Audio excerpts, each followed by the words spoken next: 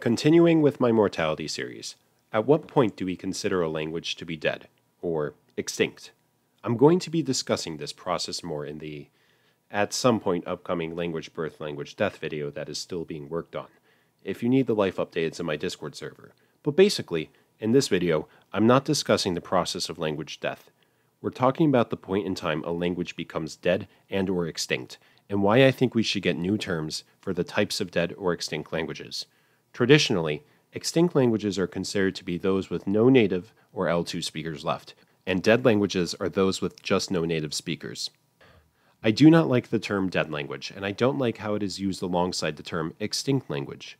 Under the traditional definition, an extinct language is Eteocypriot. Nobody speaks it anymore. If you claim you speak Eteocypriot, I'm going to ignore you, because you don't. A dead language is something like Latin, which isn't undergoing a native speaker revitalization process outside of nerds, but it has L2 speakers. Then we have revived languages and living languages, but like boring. My main issue with the terms extinct and dead is that, well, they work for dinosaurs, but not languages. Languages are flexible within those categories. Hebrew went from being a dead language to revived to arguably just being a living language. Old English went from being extinct to dead, and Eyak went from being extinct to revived. We need new terms, and I'm going to steal some criteria from Vsauce. This is from the video Selfie Waves. I think you die at least three times. Once when your body stops living, again, usually sometime later when your name is spoken for the last time. But now, thanks to photography, more and more of us are able to save ourselves from the third, the last time an image of you is seen. I think this is a much better set of criteria. If you've watched Mortality and Language, you'll know I think it's appropriate to treat languages like living organisms, unlike dinosaurs, which are not living because they are all dead. But what are the language parallels? When the body stops living is when there are no native speakers left. When the name is spoken for the last time is when the language is spoken last. And the photographs of language? Direct written attestations. Under the traditional terms, we would call these dead extinct, and lost. Let's get new terms. An unproductive language. In linguistics, a phonological or grammatical rule or process of word derivation is productive if it can still be actively used and not sound incorrect to the recipient of the utterance. An unproductive rule would be something that historically was acceptable in the language and only exists in the current state due to residual lexicalizations. I'm adapting this term for dead languages. Here, a productive language is one that is passed down to new native speakers, where language is allowed to undergo the natural process of language change. In an unproductive language, there is no natural language change from native speakers. In other words, this is a dead language, as any productivity or language change comes from L2 speakers. The original productive rules are gone. An unproductive continuous language may, however, still have productive rules because the continuous signifies that there has been a consistent L2 usage of the language since the point in time in which it stopped being used as a native language. Examples are Latin, Coptic, and formerly Hebrew, which have all been used for administrative and or liturgical purposes since the loss of an L1 speaker community. Modern Church Latin, for example, has taken on influences from Italian. So yes, there still may be productive grammatical and word derivational rules in Latin, but the speech community itself is unproductive. It is continuous, but it is still a relic of a historical process. I hope that makes sense. Unproductive non-continuous is basically the same thing, just that the language was not used as an L2 language at some point from the loss of its L1 speaker community. Because we have enough resources of Old English, there are people who can fluently speak it with each other. Sure, they have to adapt it to the modern world like Latin and Coptic, but again, the point is that the chain of the language being passed down to the next generation of the speaker community allowing for natural language change is no longer productive. And unlike unproductive continuous languages, nobody was fluent in Old English for like at least 700 years. Since these languages have L2 communities, they are by default revivable in some form. That differs from the cessated languages, which are languages that have ceased to have a fluent speaker community at all, L1 or L2. Formerly, we'd call these extinct. But extinct is a bad term because it implies that the language can never be spoken again, that it has no language photographs left, or that the speaker ethnicity itself has also gone extinct, which may or may not be true. So that's why I prefer the term cessated. because it does not imply that the speaker community is productive nor unproductive. It just doesn't exist anymore. So, a cessated revivable language is a language that does not have an L1 or L2 speaker community, but has enough resources for us to theoretically bring the language back in a mostly original form. I would be comfortable putting Gothic here, for example.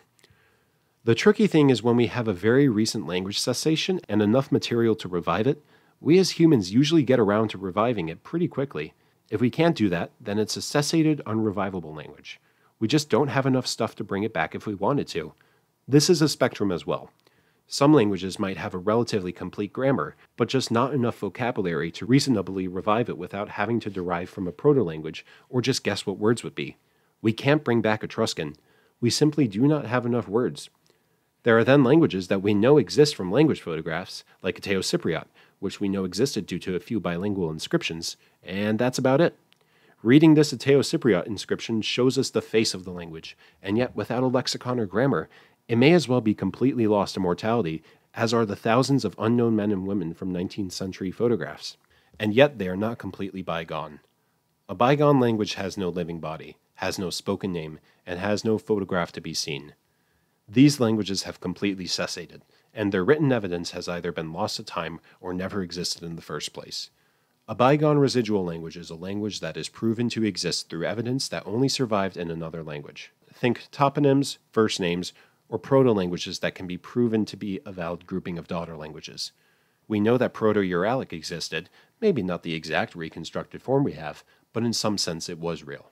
There is no speaker community, and there is no written evidence, and yet there is still evidence elsewhere with the existence of the Uralic family. It is bygone residual. Ancient Belgian, which may or may not have existed, also goes here because there is enough toponymic evidence suggesting that it might have existed.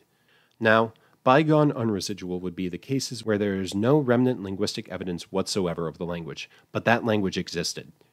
The Thule culture, or Proto Inuit, have no genetic connection with the Dorset culture, whom we know of due to archaeological evidence. Those people presumably spoke a language. Is there anything that we know about it? Nope.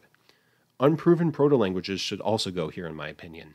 Proto Dene Yeniseian, for example, could still arguably just be because of areal or coincidental similarities between Proto Yeniseian and Proto Na and thus not have true residuals. Or, for example, we know that there was a language spoken by the humans who settled Göbekli Tepe, but we don't know what it was. Hopefully, my point is coming across. I also want to include one last category antediluvian languages. Languages so far gone that we will never even be able to hypothesize their existence. People groups who did not survive the tests of archaeology, or who were never distinct enough for us to pick up in genome readings of ancient bones. The languages that existed there are so lost, so covered by the passage of time, that they will never have a paper written on them even saying that there might have been a language spoken here. Descendants of a hypothetical proto world that we will never be able to guess. Some are tens of thousands of years old, some might be jungle languages lost and completely forgotten only a couple hundred years ago. They predate history, and they cannot be thought of. They are the most dead languages that there are. So, when does a language die? Does it die once when its last speaker dies? Does it die three times when it goes from productive to unproductive, and then to cessated, and then to bygone? Does it die seven times as it traverses through all these categories? Well, that's up to you to decide. I truthfully don't really care what the answer is. I just hate the term dead language so much that I decided to make my own classification system for the types of languages no longer spoken that completely circumvents that issue of when is the language considered dead. So I'd like to give a thank you to all my supporters on Patreon who continued to support me through these admittedly pretty rough times. So thank you to Agma Schwa, Real American Patriot, Albert Jones, Ayu, Babalingua, Andrew, Acorn, Alexis, Talatech, Benny, Cactus, The Gamer Potato, Eden, Elijah, Feta John Costello, Obfuscable, Pirate, Stein G, The Wub, and Alan. Thank you guys so much.